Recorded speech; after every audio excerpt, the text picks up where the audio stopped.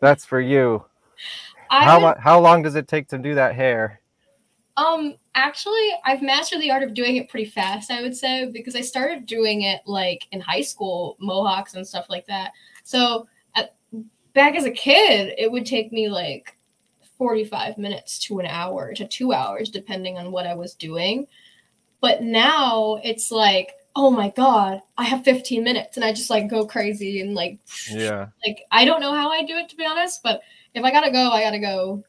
Yeah, this took me probably one minute and 30 seconds.